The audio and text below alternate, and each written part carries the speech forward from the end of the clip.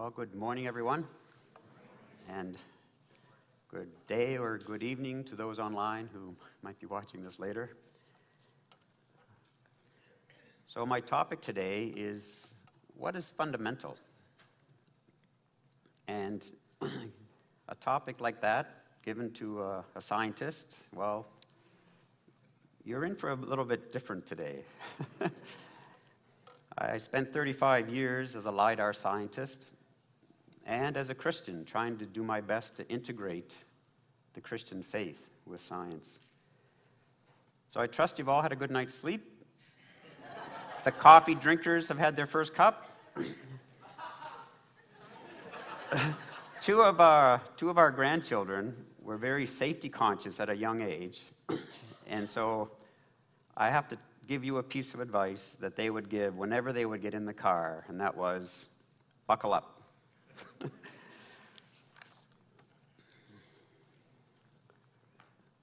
so, some of background for me uh, I love science and math as a student, and I, part of the, the reason why is that it just it was such a nice framework, coherent framework is the word.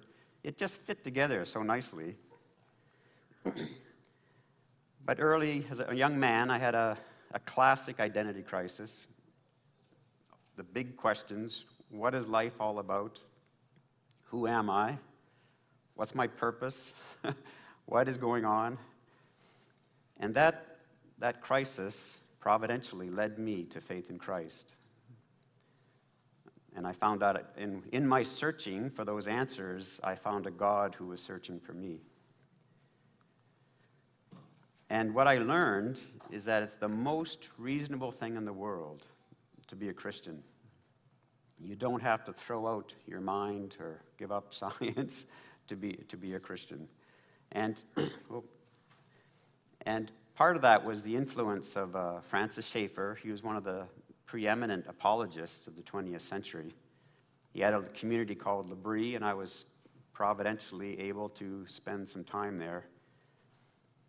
And I learned that Christianity does have a wonderful coherence. It, it just fits together, it explains things. What I'm going to talk about as part of fundamental is two fundamental books. Galileo, he was a believing scientist in the 17th century, and there's a very common notion at that time that there were two fundamental books. One was the book of nature, so what we could see around us and learn from. The other was the book of Revelation. Both of these books express truth, they can bring us to knowledge, and they have the same author, God Himself, so they must be compatible. If there's a contradiction between them, it is only an apparent contradiction. We have to figure out which one, how to interpret one or the other so that they are compatible. God is simply communicating to us in two different ways and we must, and He's given us the ability to do this, which I'll show. Galileo himself, he was caught in a very big controversy at the time. Uh, what was at the center?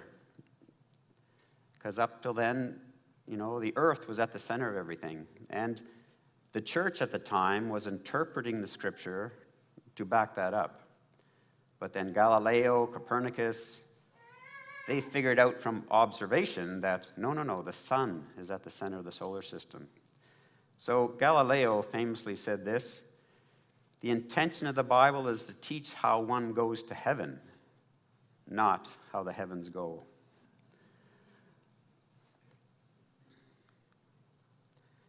So I'm going to, this is where the roller coaster starts. I'm going to talk about what's, what's, what's really fundamental in nature. What are the basic building blocks? And what's at the foundation of it all? Well, there's two things in nature that's forces and particles. There are four fundamental forces, and two of them you're quite familiar with gravity. It's actually the weakest of all four, but it's infinite in range, and that's why we're all able to stay in our seats. The, the center of the earth, the earth is pulling us is attracting us, and we're actually we're, we're attracting the Earth too, but that's why we're able to stay in our seats, gravity. And that's how this, the planets revolve around the sun. So we know that one. I'll skip to the third one because we know that one too. It's electromagnetism. So magnets have north and south poles, they can attract, repel. It's actually um, the, the third, the second strongest, but it also has infinite range, so it's always there. The other two here are in the nucleus. There's a, something called the weak nuclear force and the strong nuclear force. The strong nuclear force is really important because it keeps protons together inside the nucleus because protons are positively charged they should they do repel each other because of electromagnetism but the strong force is the strongest it beats out electromagnetism keeps our atoms from flying apart so, four fundamental forces. Four. GUT, or GUT, it stands for the Grand Unified Theory. It's like the holy grail of physics and cosmology to try to combine all these four forces into one theory. And people have been working on it for a long, long time and including a very famous scientist, Albert Einstein. Before I get into that, though, a little aside, I want to talk a little bit about relativity versus relativism because they're not the same. Einstein came up with his theory of special theory and general theory relativity in the early 20th century. And as that theory crept into the contemporary culture, it led to relativism, basically. That, oh, everything's relative. Einstein said so. and that led to moral relativism. Well, it's not true because there's one unshakable absolute in the theory of relativity, which Einstein was brilliant to establish, and that, that the speed of light is exactly the same no matter where you are or how fast you're moving. It's exactly that many meters per second. They've actually redefined the meter to make that have no decimal places. so, in, in relativity theory, there's one absolute absolute, and that is the speed of light. So, that's one example how things have creep into modern culture, but it's it still has a very strong absolute in it. Well, after he did all his amazing work, he still worked away at Princeton, and he devoted the latter half of his life to trying to come up with a grand unified theory. But, like he with so many others, it hasn't yet happened. It hasn't yet happened. So that's forces. now we're going to talk about particles. Well, the atom was the most fundamental particle for a long time. And actually, the term comes from ancient Greece. And the term atom means uncuttable, something you can't break apart. And so, up until the 20th century, that was the case. The atom was basically it. Now, we do know we're all made of atoms, but the first cut came in the early 20th century they found the atomic nucleus. And so they found out that the atom was actually had a tiny, tiny nucleus at the center with electrons uh, buzzing around it. And then they found out there were things even inside the nucleus. In, in uh, 1919, they found the proton. And then in, in the 30s, they found the neutron. So the tiny, tiny part of the atom at the center actually had components inside it protons and neutrons.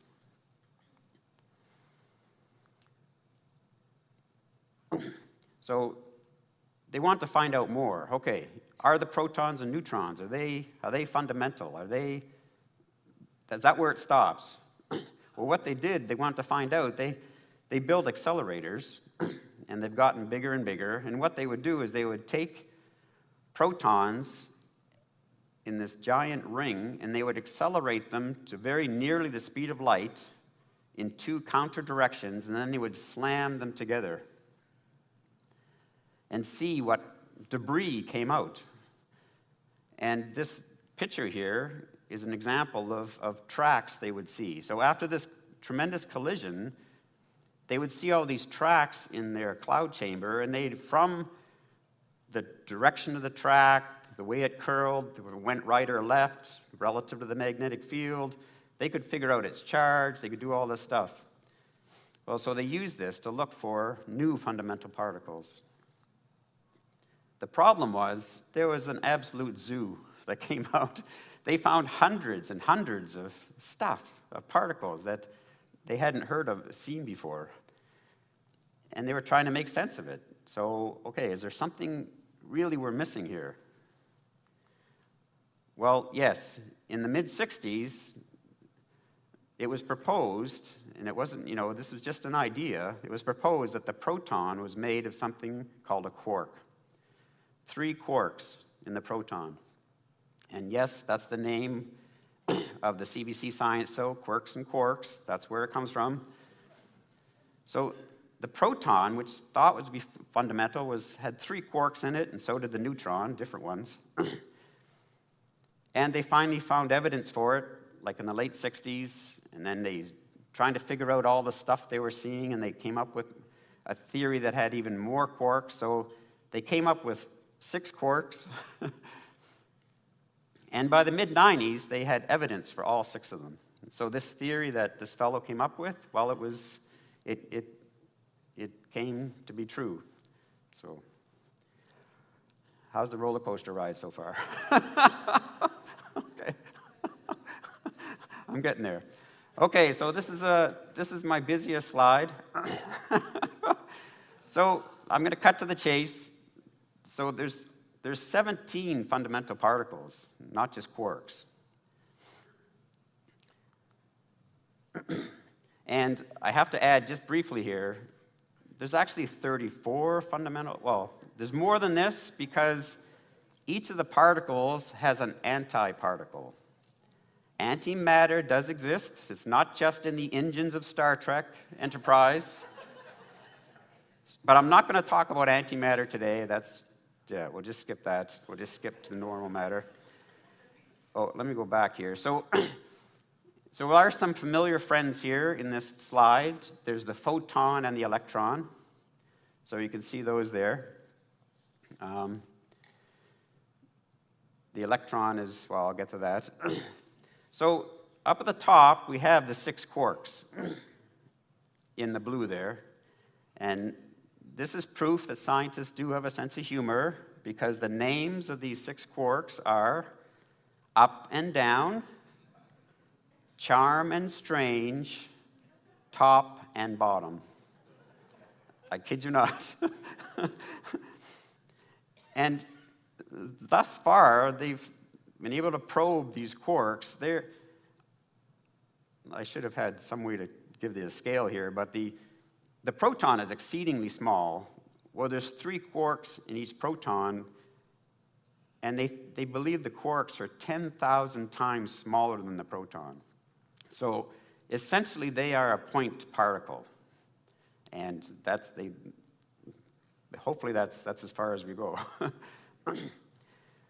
the six on the bottom are called leptons, and that's kind of a funny name, but it actually comes from a Greek word that means small and delicate, leptos.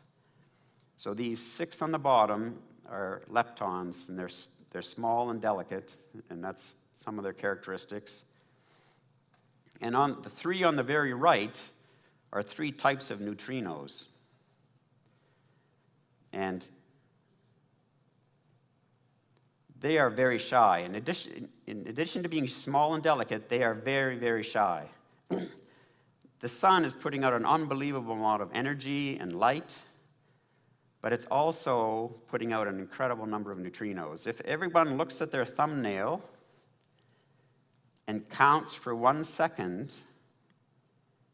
100 billion neutrinos just went through your thumbnail. But these things are so shy, they don't interact with anybody. They just fly by. They, they just, just see you, not talking to you today. They're just going.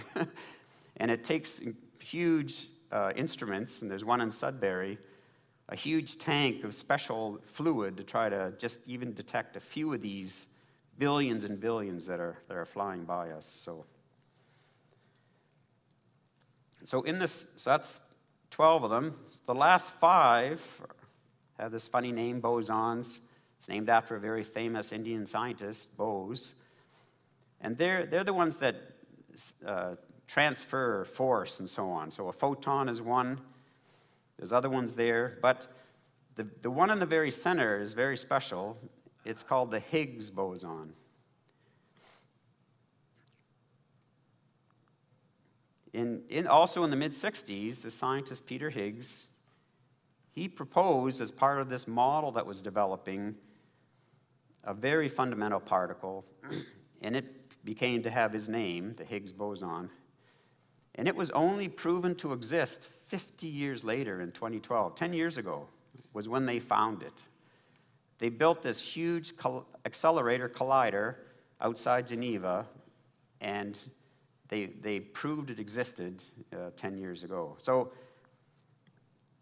a little aside here, at the time, people may have remembered that they talked about the God particle. That became the nickname for the Higgs boson. It was so elusive, it was so big, and it's the one that actually gives everything mass. Without, without this in the picture, they couldn't figure out how anything had mass, but the Higgs boson is the one that does it.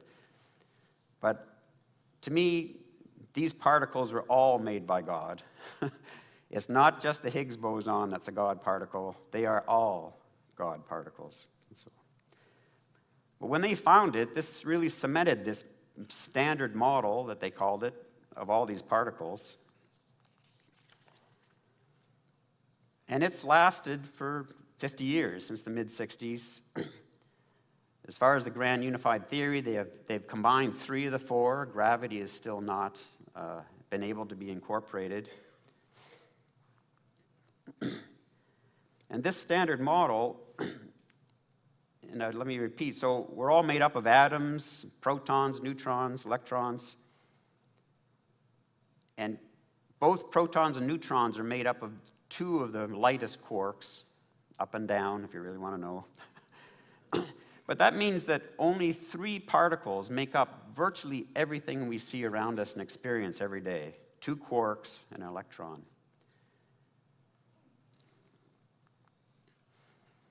And this standard model, it can be easily argued that it's one of the highest achievements of the 20th century. Over the course of its development, um, over 50 people received the Nobel Prize in Physics for it. You know, even up to 2020 when uh, Roger Penrose won. And I really figured it'd be a bridge too far if I showed equations this morning. I really did. that would, I'd be looking for the tar and feathers. Um, but I'm just going to show you something. So, the standard model can be written down on a single sheet of 8.5 by 11 paper. I don't understand it. No way. But the fact that God made this universe and gave us the brains to figure out what's behind it all, what's at the bottom of it all, that, that just blows me away. And that, that it can be written down on, a, on one sheet of paper.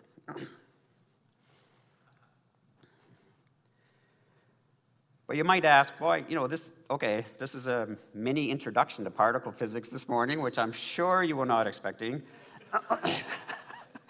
Why did God make it so complicated? That's the complicated equation there. Well, differential calculus is complicated, for sure. and actually, a lot of scientists were disappointed that 10 years ago we only saw the Higgs boson, the Higgs particle, because they had been inventing more and more theories about what's happening, how to account for this and that. And they were expecting to see many more exotic particles. But they only saw the Higgs particle at this Large Hadron Collider. And in fact, the standard model can be argued to be the simplest one possible to produce the universe we see. Uh, Neil Turok, he's the director of the Perimeter Institute in Waterloo, Ontario. He has this great YouTube video uh, from a few years ago, The Astonishing Simplicity of Everything. And he says this The universe has turned out to be stunningly simple. The universe has surprised everyone. It's simpler than any of our models can explain. And here he talks about finding the Higgs particle. The same thing happened at the Large Hadron Collider. Again, nature has used the most simplest possible way. It's so simple we don't understand how nature got away with it.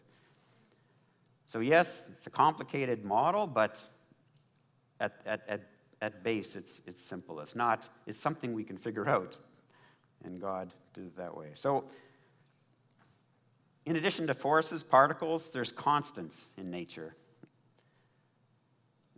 The force with which we are pulled down in our chairs by gravity is driven by the gravitational constant. If it was twice as big, we'd probably all be lying flat on the floor and not able to get up.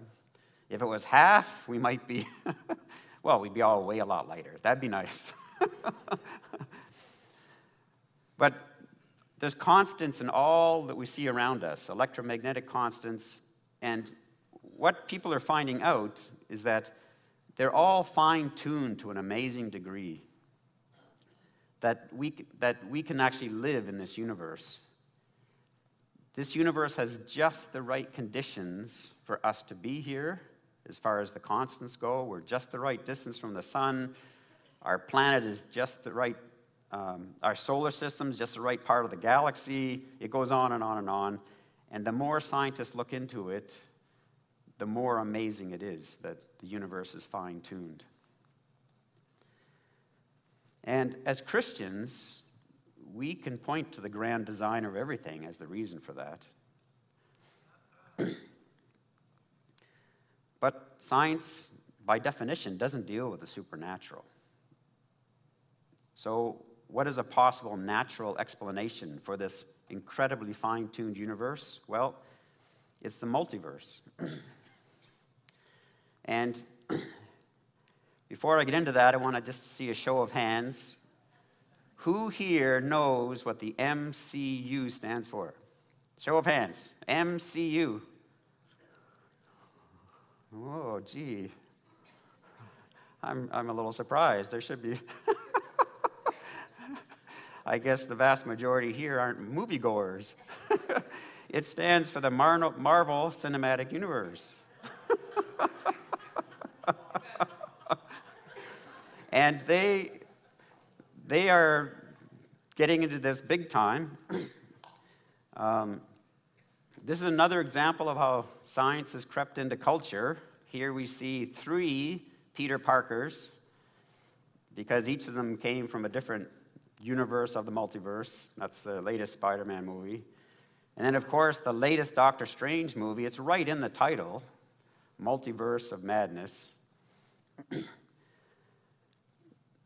the question why it's incredibly popular. They're making a lot of money making this Marvel multiverse cinematic universe.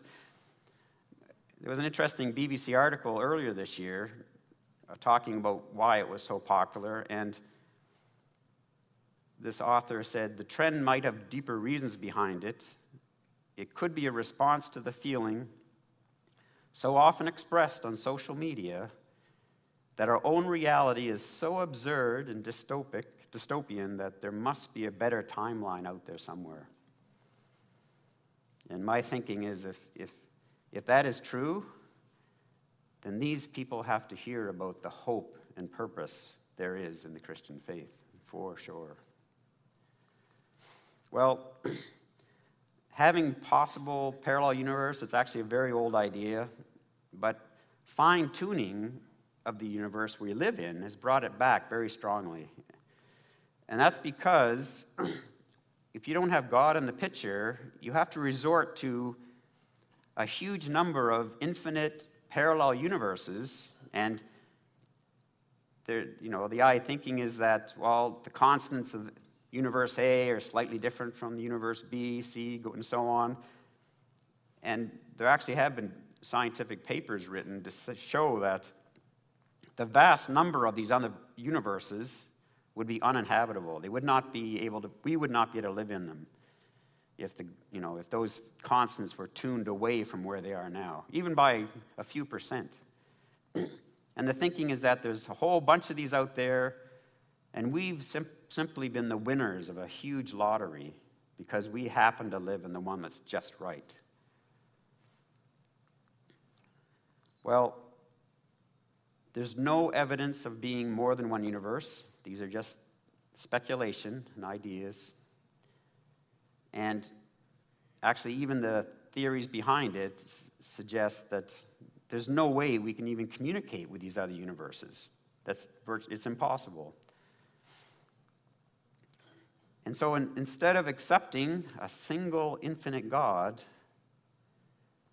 they are postulating an infinite number of other universes. So, but you have to ask which is simpler here?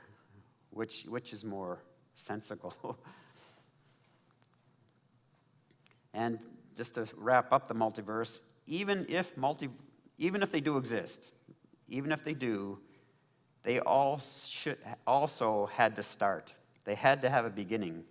There's been theorems that say if something's expanding, well, it had to have a beginning. And so you still need a cause for the multiverse. You still do, even if they exist.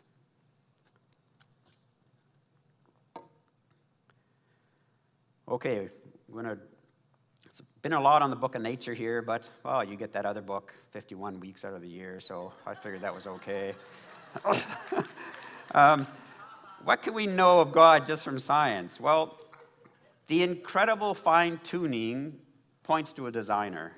It just does. So there's a designer of the universe. The start of the universe, it, it had to have started. And that points to some personal agent. And I say personal because some, someone, a person or an agent, whatever, you, had to make the decision okay, let's start it up now. Otherwise, it just would have continued as it was. So someone had to make a choice to start it, to turn that key. And this agent is incredibly powerful. There's a lot of energy in the universe. It, it did not come from nothing. Only nothingness can come from nothingness.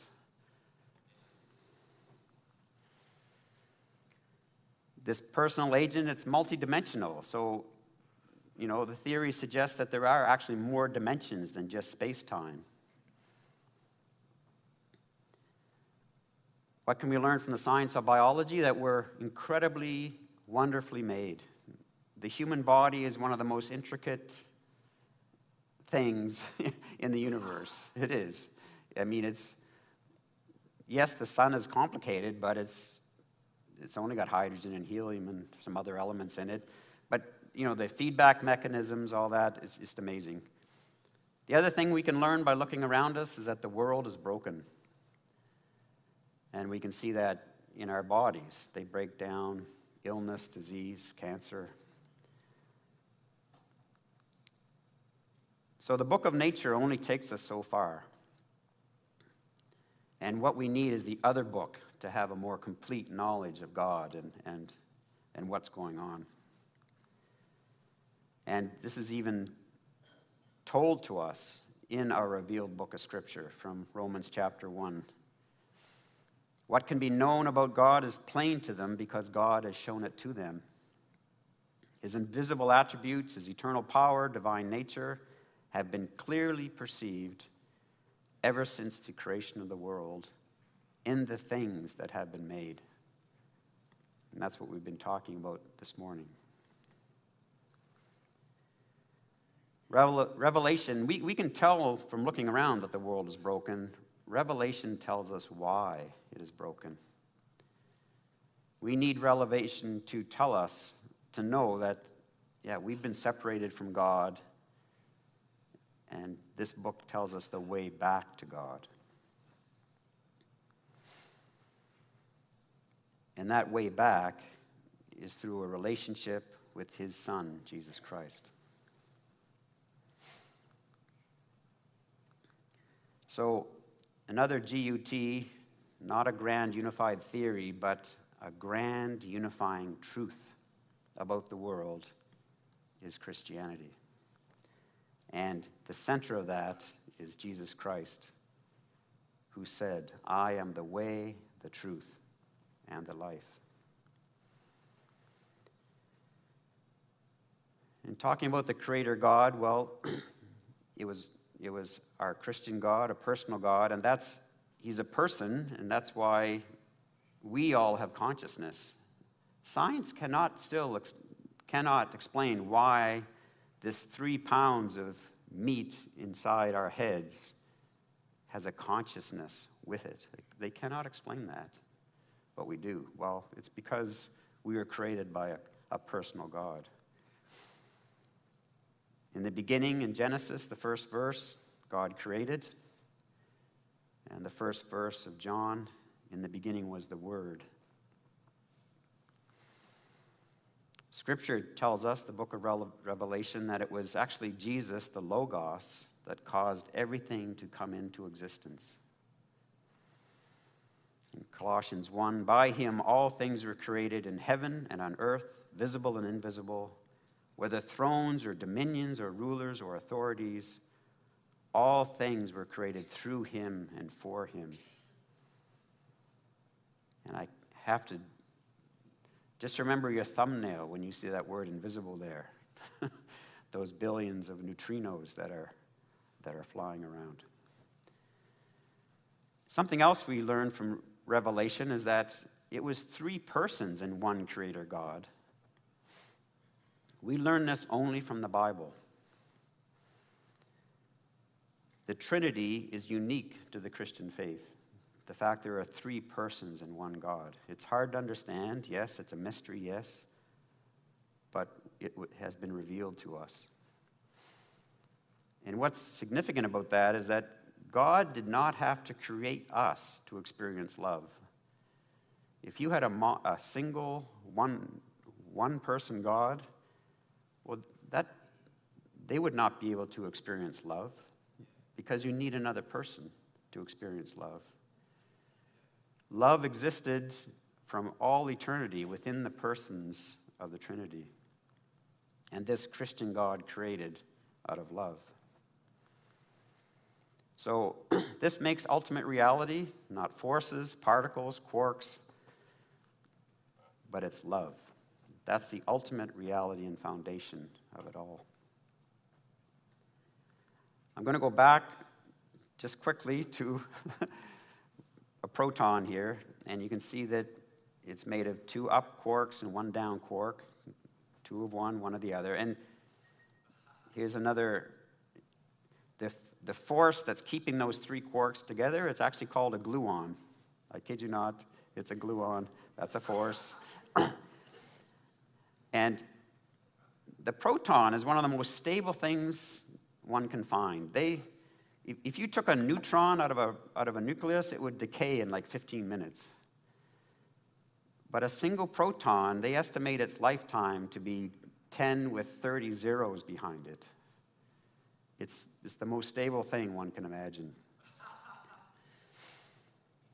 And it's special because if you just simply add an electron to a proton, well, you get hydrogen. And that's the most abundant element in the entire universe.